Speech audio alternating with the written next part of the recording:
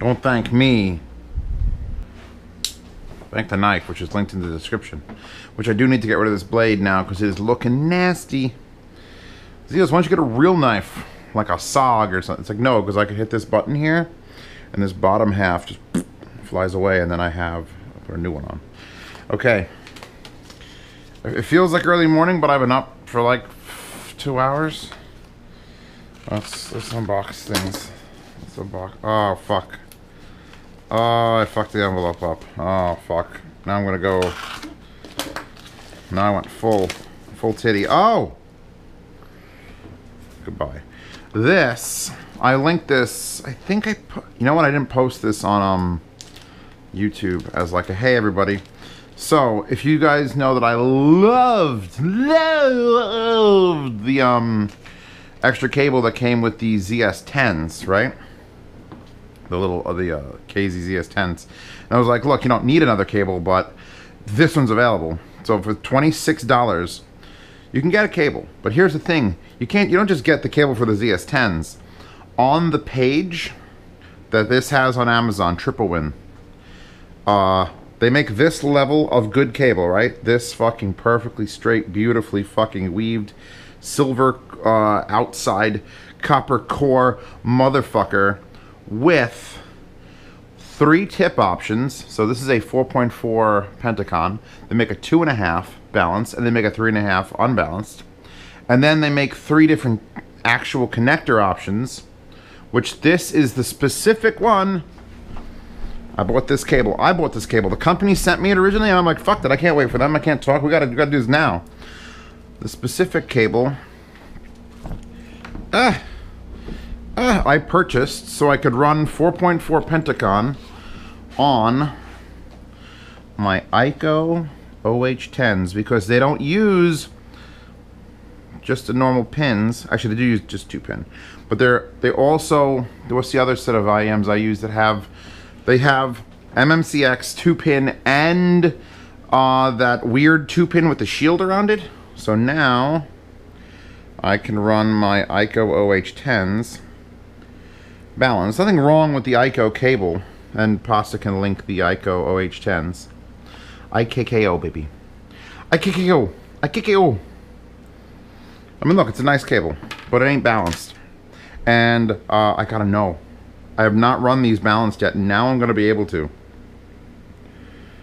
Uh, uh.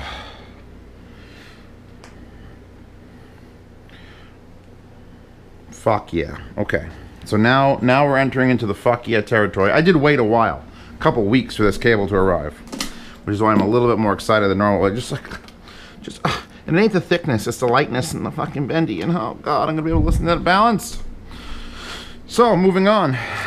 Now that I've, uh, so that you could order, if you sat there and you ordered nine different cables, you could have every possible combination for an IM you'd ever need Except when some company puts out one of those stupid cables. Oh! So SMSL, the, uh, well, the distributor who sent me this, sent me another M100, which is their DAC. I've already reviewed this. Has already been reviewed, the SMSL M100. They sent me one because they sent me the little tube variant. And they're like, hey, when you do the tube variant, could you do with the DAC too? And I'm like, I sold the DAC in the yard sale. I sell a lot of things in yard sales. So they're just like, all right, here you go. Here's another one. So what have we got? This is a very clean thing. This is like up there in the $100 DAC range with aux power or power power, fiber optic in, coaxial in, RCA outs, glass fascia, which this doesn't have a, a peelable shield. So, who knows? Maybe I'll bring that to RMAF. Can always use more DACs at RMAF. So that there. That thing's fucking great.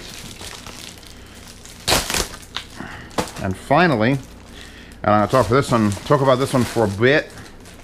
These are the VR VR retractable Odyssey VR pack six pack. Because if you watch these unboxings and they come out in any sort of order, you know I now have a um, a Valve Index, and it is glorious.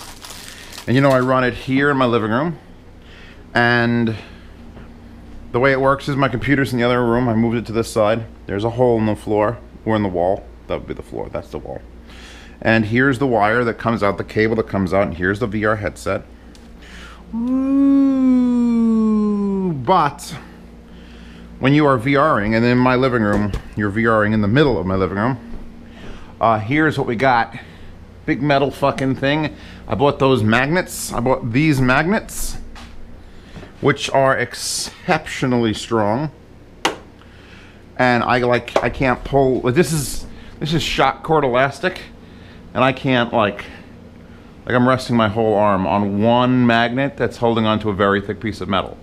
And that's great, but shock cord elastic's not gonna work because my screen comes down, my projector's there, and when you get the VR wire, like the wire has gone from there to here, but now I've got an extension I put, oh, it's another thing we're gonna talk about. I didn't unbox these because I needed to test real quick. This is a three foot DisplayPort adapter. Pasta said, make sure you don't get a UDP cable. And I'm like, what? And she looked up and apparently she looked up that DisplayPort extensions usually don't work. So my first DisplayPort extension, getting off topic and off we're actually what we're actually unboxing, unboxing, back, back, back, was a 10 foot uh, Cable Matters. This is in my shopping cart, but 10 foot DisplayPort extension. Now, keep in mind the headset already has a 15 foot cable plus an umbilical, and adding 10 more feet to that caused digital snow. It was red and green dots everywhere, just fucking doing things. And Then all of a sudden there was like, you know when you plug in a really bad HDMI cable? I don't know, not many of you have experienced this, but you get like snow and weird feedback on a TV. Now imagine wearing that and having like weird effects and then artifacting happening. It's like, ah, ah! So that was not gonna happen. So as soon as that errored, I bought a three foot and a six foot. And luckily the six foot does not give me any interference. It's literally a matter of four feet more cable. The signal degrades. And this is an extra three footer, which I'm probably not gonna return in case I ever need a display port that's three inches long. So links to that page, which has three foot, six foot, and 10 foot DisplayPort extensions from Cable Matters. They're really well built. This 10 footer was just too long. The 6 footer seems to be perfect, which, back to what I'm talking about. When I had my headset here, I hung it here and the wire and it went to here.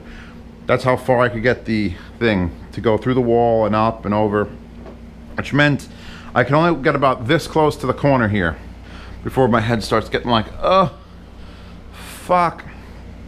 So three foot might have fixed that. Six foot will definitely fix that. However, the biggest problem with VR, and actually there's two big problems with VR, but the biggest problem I have currently is the wire is trying to kill me.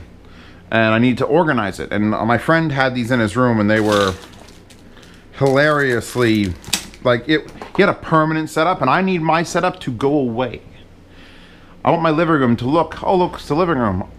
Hmm, what are those black boxes in the corners? Whether those are the lighthouses with the white brackets and hidden in the channel and it's oh oh it's so clean and I want it to be clean. I don't want you to notice I have a VR setup in this living room. And that's where these are gonna come in. These are wire tensioners. Now I'm sure they make these they made these for years and sold them for like keychains. And then someone said hey VR exists we could probably profit from it. So what this is is just a little spoolie spool with a little rubber band there six of them come in a package with extra cording and Allen keys. And these are terrible looking. These are things what they want you to hook to the ceiling with. We'll open all this stuff up. At least one of them. But anyway, this, do I have a thing to hook this onto?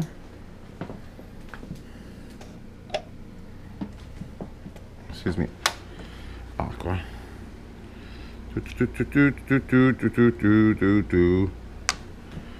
So this just literally extends about that far. How far was that? There. So that's five feet. And that's all it does, and then it pulls back. So you attach this to the wire on your headset, and when you walk away from wherever it's hanging, it pulls out and lets you walk and then when you're walking back towards the middle it lets it back in very simple design I like it now I'm probably going to need to put two of these up there. I'm not going to add any holes or anything to the ceiling. And I'm not going to probably use any of this stuff, which it does come with. These are a double stickum, so you peel this off. And there's a sticky pad with a flower design and then a hook. So the idea is you take this and you would just go from your computer and you do wall, ceiling, ceiling, ceiling, and I'd probably double some of these up for like where the actual center was. And then you hook this bastard onto it, which that is a terrible design because it's like, I mean, I guess it, it won't pull off if there's no like thing. And then you just walk around and you do your, your shit with it. So my goal is gonna be is I can get this off if I pull it diagonal, but I'm afraid I'm gonna smash it into a TV or something, so I may get my stepladder out. God, that's on there. That's a much thicker piece of metal than is in my wall. That will not fall off when I pull it. But my goal, well, that's what the set those Allen, Allen keys for. They're to, they're to set how far in this goes. And it is steel. This is a steel wire. It's got good tension. I might have too much tension. I don't know. I don't want it to feel like I'm being pulled still, even though I'm not. So I may try to do with just one. I may end up using just two of these out of the six. Because coming out of there is fixed. Coming up to this is going to be fixed. Then maybe from the corner of here, just having it go out a little bit. I don't know. I'm to have to see because the, the headset should now hang down to the floor and that's fine. I just needed to tension the wire so that when I'm wandering around in this. Oh, remember I said there was two problems with VR? One is the wire to your headset. The other one is I make a lot more lefts than I make rights. And when you're doing this, like in VR, and you're just like, you're wandering around somewhere, and you're just like, oh, right, no, left, left. Your wire twists like a motherfucker. And so there is an actual application, uh, that I don't remember the name of. But my friend, oh, shit, pasta. It's in the shopping channel, pasta. That spin right, spin right, spin fit, spin right. That actually counts how many times you've spun in one direction, so that you don't end up spinning 13 times in one direction and have your wire get all fucked up. So no one even think, no one thought of that, and I don't know why I have to have an add-on and that isn't built into all VR programs because that shit is fucking annoying. When you when you turn, all of a sudden you feel the wire in the back of your head go. Does that thing where you like you curled it too much and it loops. You've done that with a headphone cable, I'm sure. And then all of a sudden this is attached to the back of your head and you can't fucking see it. It's like ah. So there's a lot of ah in VR. So these. Oh, actually, wait. Oh, they come with mega hooks too if you wanted to. This kit is not bad for like seventeen dollars. Uh, uh, look at that. They come with big rubberized hooks with with anchors if you wanted to really get absurd and mount this shit. Now I'm gonna do a little bit.